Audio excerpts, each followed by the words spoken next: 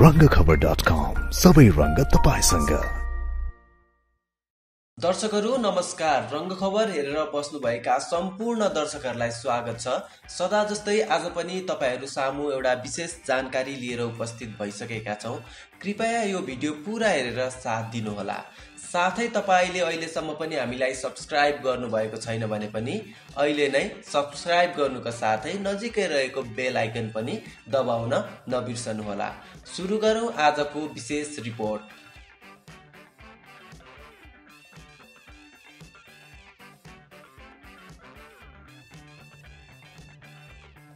पत्रकार शालिग्राम पुरा सैनिकको हत्या प्रकरणमा मुसिएर हाल प्रहरी हिरासतमा रहेका पत्रकार रवि लामिछानेले आफ्ना शुभचिन्तकका लागि हिरासतबाटै सन्देश पठाएका छन्। उनको सन्देशले हिरासतमा उनी सुरक्षित नभएको भाव व्यक्त गर्छ। प्रहरीले आफूलाई फसाउन खोजेको उनले आरोप लगाएका छन्।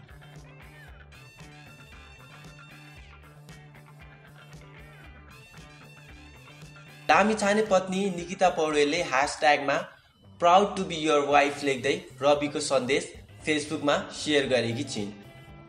सन्देशमा भनिएको छ शालिग्राम पुरा सैनिकको घटनाको विषयमा मैले प्रहरीलाई अनुसन्धानमा सघाउँछु भनेकै थिएँ र पाँचौँ दिनसम्म हिरासतमा रहँदा पनि मैले मेरो तर्कबाट पूर्ण रूपमा प्रहरीलाई सहयोग गरे पनि।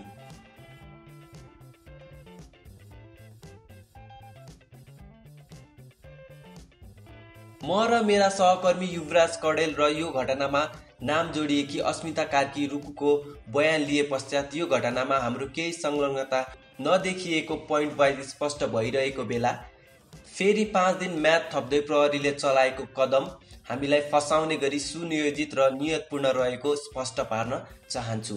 पाँचौँ दिनसम्म मैले प्रहरीसँग आफू सुरक्षित रहेको महसुस गरेको थिएँ। तर आजबाट भने म प्रहरीसँग नै असुरक्षित महसुस गरेको छु। बयानका लागि मेरा भनाइ समावेश गरिरहँदा म हिरासतबाटै केही प्रश्नहरू पनि गर्न चाहन्छु।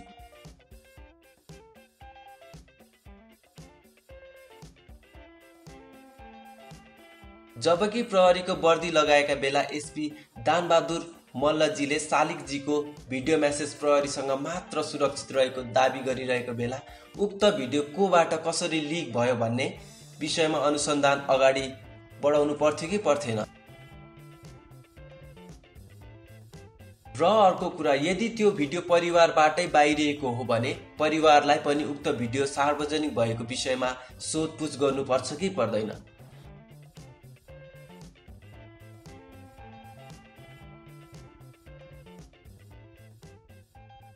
तसर्थ अन्य तर्कको अनुसन्धान अगाडि बढाउनु पर्ने अनुसन्धानका लागि भन्दै प्रहरीले मेरो फोन कल डिटेल निकाल्न समय लगाएको विषयमा पनि म प्रश्न गर्न चाहन्छु। प्रहरीले दुई दिनभित्र कल डिटेल सजिलै निकाल्न सक्छ तर मलाई फसाउने नियतसहित समय लम्ब्याएको विषयमा मैले आफूलाई यहाँभित्र सुरक्षित महसुस गरेको छु। यो घटनालाई लिएर प्रहरीले मलाई पाँच वर्ष थुन्ने नियत देखाएको हुँदा देश तथा विदेशमा रहनुभएका मेरा सम्पूर्ण शुभचिन्तकहरूलाई म के भन्न चाहन्छु भने मलाई हिरासतबाट निकालिएको पाँच मिनटभित्रै यो घटनामा मेरो कुनै संलग्नता छैन भनेर प्रमाणित गर्न सक्छु। रवि लामिछाने। दर्शकहरू तपाईँलाई यो सामग्री कस्तो लाग्यो? कृपया कमेन्ट बक्समा कमेन्ट गर्न नबिर्सनुहोला।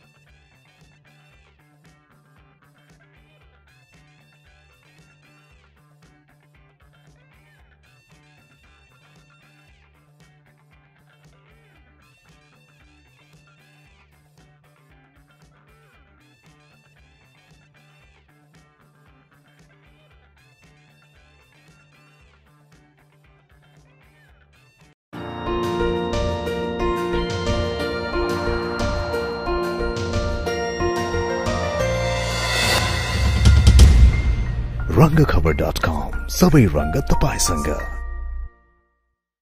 दर्शकहरू नमस्कार। रङ्ग खबर हेरेर बस्नुभएका सम्पूर्ण दर्शकहरूलाई स्वागत छ। सदा जस्तै आज पनि तपाईँहरू सामु एउटा विशेष जानकारी लिएर उपस्थित भइसकेका छौँ। कृपया यो भिडियो पुरा हेरेर साथ दिनुहोला। साथै तपाईँले अहिलेसम्म पनि हामीलाई सब्सक्राइब गर्नुभएको छैन भने पनि अहिले नै सब्सक्राइब गर्नुका साथै नजिकै रहेको बेल आइकन पनि दबाउन नबिर्सनुहोला।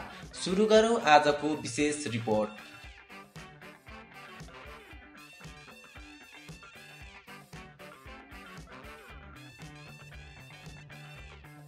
पत्रकार शालिग्राम पुरा सैनिकको हत्या प्रकरणमा मुसिएर हाल प्रहरी हिरासतमा रहेका पत्रकार रवि लामिछानेले आफ्ना शुभचिन्तकका लागि हिरासतबाटै सन्देश पठाएका छन्।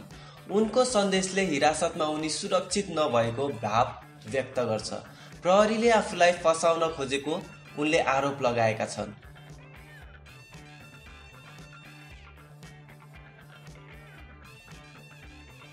लामिछाने पत्नी निकिता पौडेलले ह्यासट्यागमा proud to be your wife लेख्दै रविको सन्देश फेसबुकमा सेयर गरेकी छिन्।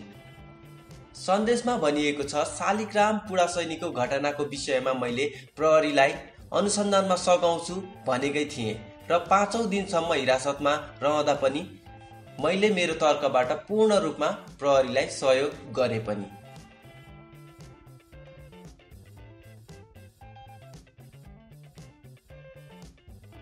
म र मेरा सहकर्मी युवराज कडेल र यो घटनामा नाम जोडिएकी अस्मिता कार्की रुकुको बयान लिए पश्चात यो घटनामा हाम्रो केही संलग्नता नदेखिएको पोइन्ट वाइज स्पष्ट भइरहेको बेला फेरि पाँच दिन म्याथ थप्दै प्रहरीले चलाएको कदम हामीलाई फसाउने गरी सुनियोजित र नियतपूर्ण रहेको स्पष्ट पार्न चाहन्छु। पाँचौँ दिनसम्म मैले प्रहरीसँग आफू सुरक्षित रहेको महसुस गरेको थिएँ। तर आजबाट भने म प्रहरीसँग नै असुरक्षित महसुस गरेको छु। बयानका लागि मेरा भनाइ समावेश गरिरहँदा म हिरासतबाटै केही प्रश्नहरू पनि गर्न चाहन्छु।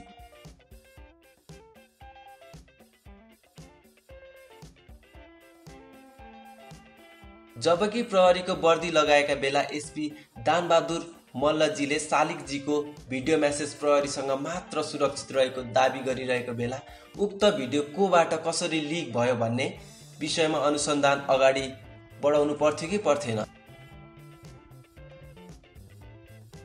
र अर्को कुरा यदि त्यो भिडियो परिवारबाटै बाहिरिएको हो भने परिवारलाई पनि उक्त भिडियो सार्वजनिक भएको विषयमा सोधपुछ गर्नुपर्छ कि पर्दैन?